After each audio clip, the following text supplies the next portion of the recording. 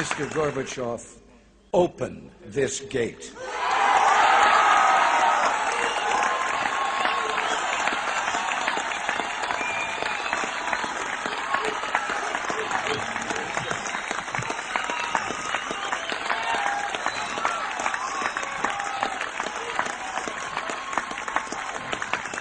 Mr. Gorbachev. Mr. Gorbachev, tear down this wall.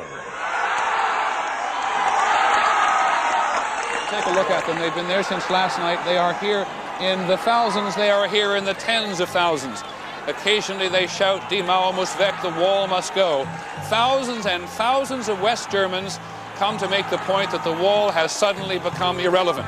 Something, as you can see, almost a party on. How do you measure such an astonishing moment in history?